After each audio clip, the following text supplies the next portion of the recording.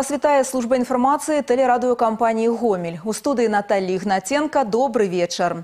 У гомельскай вобласці сёлета стварылі звыш тысячы новых працоўных месцаў і ўвялі ў эксплуатацыю больш як 300 тысяч квадратных метраў жылля.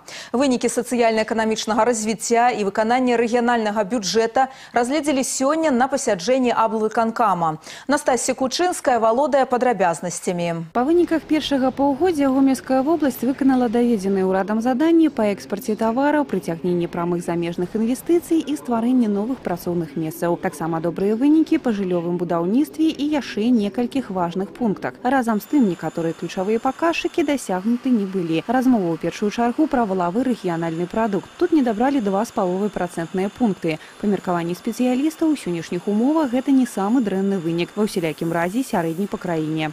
Что помешало нам выйти на запланированный рубеж? Одно практически предприятие, это наш белорусский металлургический завод, который, к сожалению, пока работает с нагрузкой где-то примерно 77-78%. Без этого предприятия мы имеем 100,5%. То есть практически были бы в графике в плане и вышли бы на те параметры, которые доведены правительством. У наступным квартале адставанне плануюць ліквідаваць. Як кажуць спецыялісты, перадумовы для гэтага ёсць. Але прыйдзецца ўлічваць зніжэнне аб'ёмаў вытворчасці на БМЗ і мазырскім нафтаперапрацоўчым заводзе. Яшчэ адна галіна, па якой прагназуецца адставанне будаўнічы комплекс. В силу того, что крупные инвестпроекты, которые мы реализовывали в предыдущие годы, в основном завершены. И, конечно, по объективным причинам в этом году Гомельская область показатели будет иметь несколько скромнее. Поэтому наша задача перекрыть строительный комплекс за счет других отраслей. По всем остальным параметрам ситуация предсказуемая, она достаточно управляемая, и мы видим, что там динамика будет.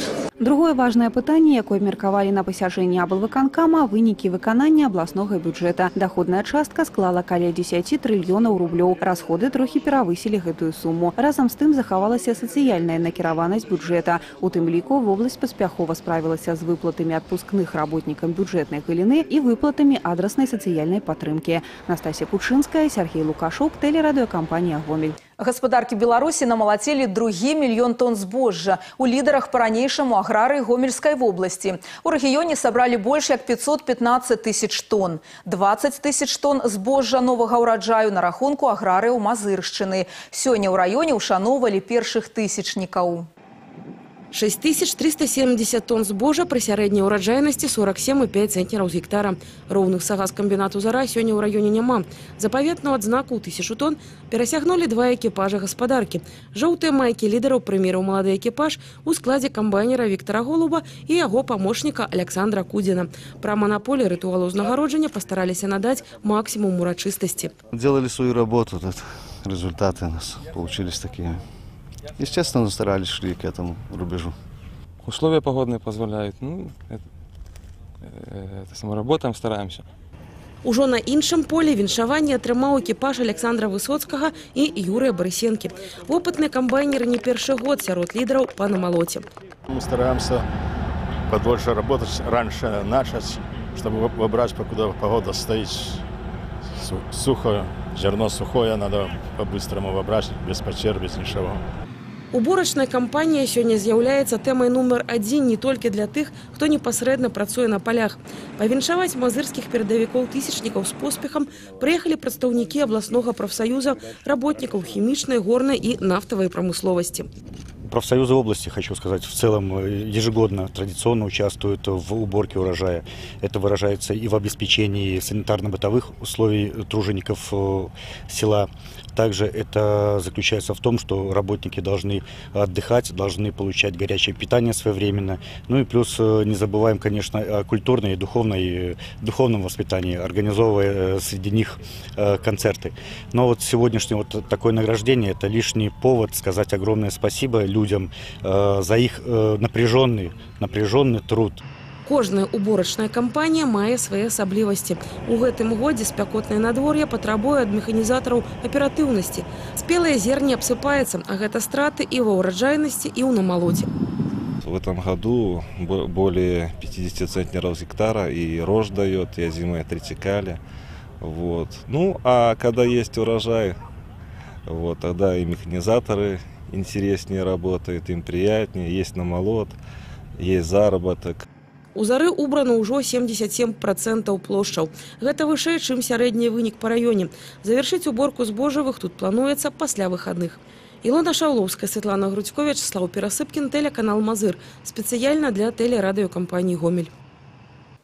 Каля тысячы зямельных участкаў штогод прадастаўляецца жыхарам вобласці для індывідуальнага жыллёвага будаўніцтва і прыблізна 30 процентаў з-за невыканання заканадаўства у далейшым вяртаецца ў дзяржаўную маёмасць. Аб гэтым сёння на прэс-канферэнцыі паведаміў начальнік землеўпарадкавальнай службы гомельскага аблвыканкама Александр Матарас. Згодна заканадаўству грамадзянін, які атрымаў участак, на працягу 12 месяцаў павінен прыступіць да будаўніцтва. Калі гэта не адбываецца, яго чакаюць штрафныя санкцыі, а пасля зямля ўвогуле можа вярнуцца ў дзяржаўную маёмасць. Само ж будаўніцтва неабходна завяршыць не пазней, чым за тры гады. У асобных выпадках яго магчыма падоўжыць да сямі гадоў. Работы лічацца завершанымі, калі на ўчастку закладзены фундамент, узведзены сцены і дах. Катэгорыі грамадзян, якія маюць патрэбу ў паляпшэнні жыллёвых умоў, могуць скарыстацца льготамі для больш хуткага атрымання зямлі. Аднак зрабіць гэта можна толькі адзін раз. Калі заканадаўства парушана і як вынік зямля ў гаспадароў адбіраецца, гэтае права ў далейшым ануліруецца. Як адзначыў Александр Матарас, часта людзі няправільна ацэньваюць свае фінансавыя магчымасці, што ў далейшым стварае ім проблемы. Многие берут земельные участки на всякий случай, не предполагая о том, что у них есть соответствующие обязанности, и которые влекут для них в последующем негативные последствия. Хотелось бы остановиться на обязанностях землепользователя. Получили участок. Участок должен быть всегда с первого дня получения э, документа о регистрации земельного участка должен быть всегда благоустроен выкашен, должна быть, должен быть порядок на этом земельном участке. В противном случае, опять-таки, как санкции, так и возможность изъятия земельного участка.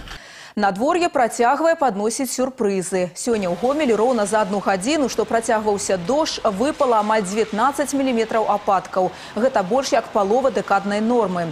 Месцамі адзначаліся моцныя парывы ветру. На заўтра ў рэгіёне абвешчаны аранжавы ўзровень небяспекі. У дзень на большай частцы тэрыторыі чакаюцца дажджы і навальніцы. Месцамі магчымы грады моцныя ліўні. Пры навальніцах шквалістае ўзмацненне ветру парывамі да 15-20 метраў за секунду. Тэмпература паветра ўначы складзе да 21, у дзень да 33 градусаў. Працягваем выпуск. У Гомелі раскрылі сакрэты стварэння шчаслівых сямейных адносінаў. Майстар-клас на гэтую тэму прайшоў у абласным цэнтры ўпершыню. Яго правялі супрацоўнікі аддзела ЗАГС адміністрацыі цэнтральнага раёна. Падрабязнасці ў сюжэце Ганны Кавалёвай. Информацию про то, что у отделе ЗАГС администрации Центрального района Гомеля отбудется урок счастья, организаторы разместили у социальных сетках. Жадающих принять удел оказалось около 30 человек. Сярод их як будучыя супруги, якія подали уже заяву у ЗАГС, так и одинокие молодые люди. Своим вопытам и ведами з ими делилася сямейный психолог Оксана Снапок. Своим вучням специалист распавяла, як знайсці свое каханне, разобраться у тым, якія роли повинны выконваць мужчина и женщина, и як наполнить адносіны паміж ими гармонией. Тема очень важная, потому что в последнее время очень много девушек и мужчин стали обращаться э, по поводу создания именно счастливых отношений. И знание психологии, знание каких-то маленьких э, секретов и нюансов э, позволяет отношения между мужчиной и женщиной улучшить и быть счастливыми в браке. Дарэчы, гэты год на шлюбы пакуль не асабліва ўраджайныя супрацоўнікі ЗАГСаў звязваюць гэта з тым, што ён високосны і для заключэння шлюбаў па некаторых павер'ях неспрыяльны. Для параўнання ў цэнтральным аддзеле ЗАГС Гомеля ў мінулым годзе за першае паўгоддзе свае адносіны аформілі 408 пар. Сёлета ж на сотню менш, а вось колькасць разводаў наадварот павялічылася амаль у два разы. Я вижу, как приходят пары, как они общаются, иногда даже по два заявления у меня в кабинете кабинете, они выясняют отношения, не могут э, значит, э, договориться между собой о времени регистрации, еще что-то. Ну, то есть я просто смотрела, как люди между собой общаются, ну, и пришла такая идея сделать э, такое мероприятие. Спецыялісты цэнтральнага аддзела ЗАГС спадзяюцца, што падобныя майстар-класы дапамогуць хоць крыху змяніць лічбы статыстыкі, захаваць колькасць шчаслівых пар і што астатнія установы такога ж профілю падхопяць добрую ініцыятыву. Ганна Кавалёва, Ігор Марышченка, тэлерадыокампанія «Гомель».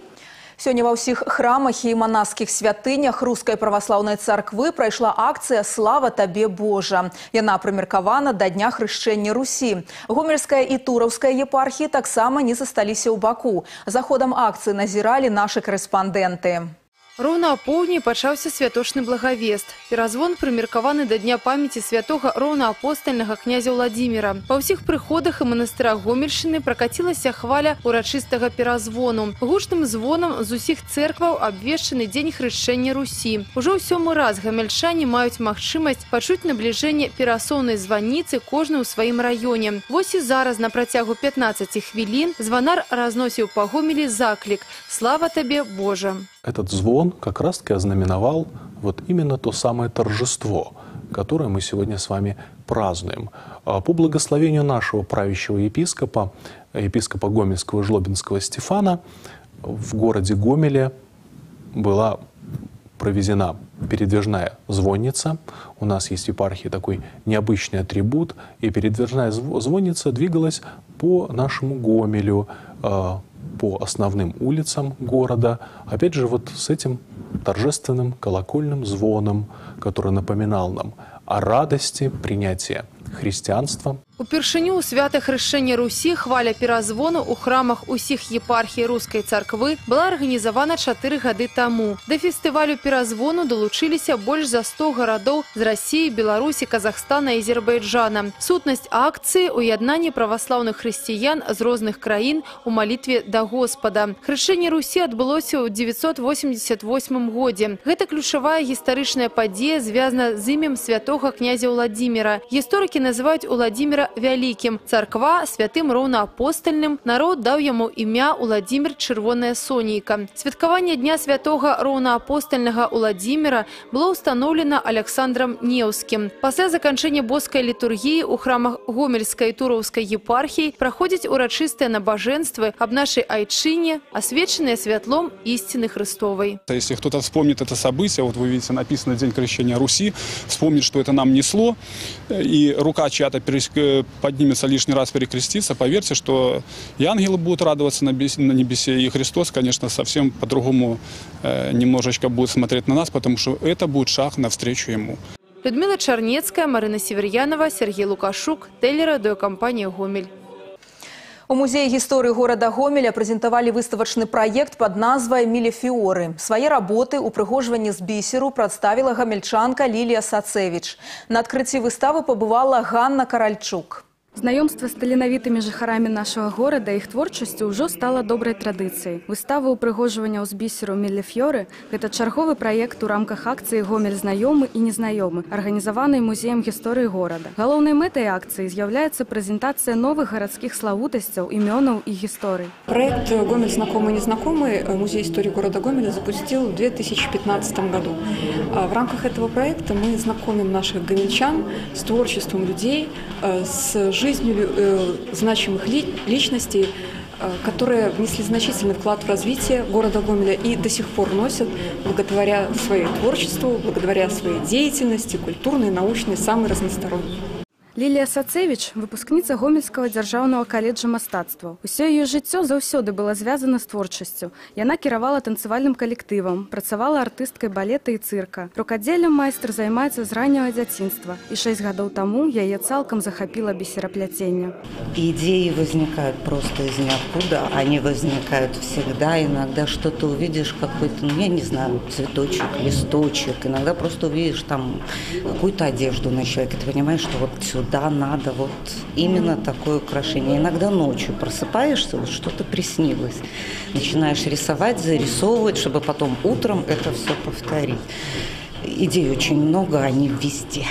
Пры стварэнні калекцыі выкарыстоўваліся такія тэхнікі, як цагляное, мазаічнае і спіральнае пляценне, работы з натуральнымі камнямі, скурай і сутажам. Назва выставы выбрана невыпадкова. Мілефьоры ў перакладзе з італьянскага азначае тысяча кветак. Гэта адлюстроўвае не толькі разнастайнасць сюжэтаў і каляровых рашэнняў работ, але адсылае нас да тэхнікі вырабу шкла мілефьоры, адкрыты ў 15 стагоддзі ў Італіі. Неапалітанская песня дапамагла гасцям выставы паглыбіцца ў адпаведную атмасферу. cielo sta compagna vostra che ci ha perduto sua fantasia Ганна Каральчук, Ігор Марышченко, телерадыёкампанія Гомель.